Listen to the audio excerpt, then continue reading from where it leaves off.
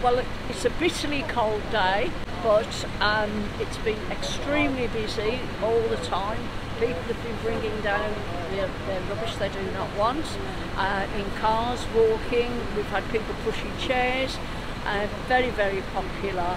Um, I start off uh, about a week, two weeks before um, with leaflets. I deliver them round the area where they're going to be. I circulate it on social media so people know they can come down, they can come.